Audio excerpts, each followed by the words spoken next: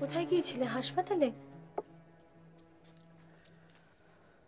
না এই একটু ঘুরে এলাম।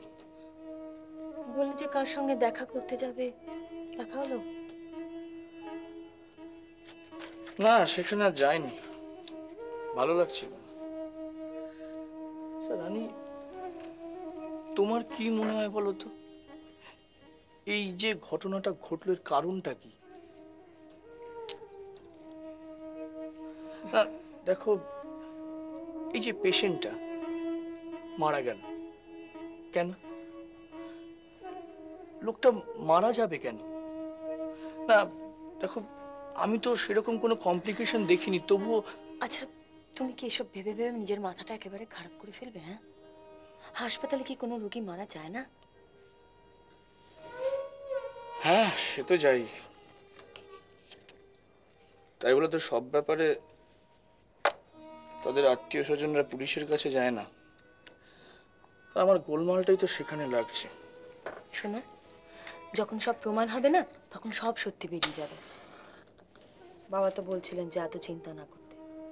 কারও সাধ্য নেই এসব প্রমাণ করা আচ্ছা সর্ষের মধ্যেই ভূত নেই তো?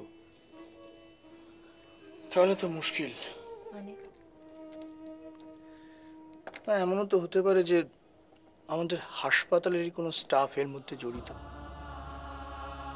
সেটাই ভাবছি। এই কথাটাই আমি মাকে বলছিলাম। কি বলছিল? এই যে দেখো তুমি একটা নার্সিং হোম করতে চাইছো এতে তোমার নাম ডাক হবে তোমার কলিগরা সেটা সহ্য করতে পারছে না। না, সবাই সেরকম নয়। হতে পারে হয়তো অনেকেই সহ্য করতে পারছে না। কিন্তু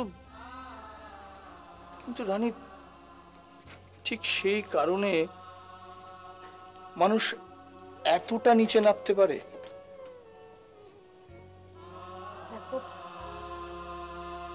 মানুষের শত্রু। ও শোনো তুমি তোমার ওই উকিল ওই মহিলার সঙ্গে কি আর কথাবার্তা বলেছিলে? না না এটা তো রোজকার ব্যাপার নয় রানী। আগে কোর্টে কেসটা উঠুক তারপর ওরা যা করার করবে। এখন তো একটা স্টেটমেন্ট নিয়ে রেখেছে এই পর্যন্ত। আমার কেন যেন মনে হচ্ছে যে তমাল কাকা কেসটা বললে অনেক ভালো হতো। তাই না? মানে আমার কি মনে হয় জানো? আমার মনে হয় তোমার বাবার কথাটাই ঠিক। আমার হয়তো অকারণে বড্ড বেশি ভয় পাচ্ছি। হয়তো ও শোনো একটা কথা। টুপা বলছিল যে কি? কি বলছিল? সেরকম কিছু না মানে ওর স্কুল টিচার আর কি ওকে নাকি জিজ্ঞাসা করছিল এসব। তোমার বাবা ফিরেছেন কি না সব আর কি। ও। এইসব। রানী আমি আমি ঠিক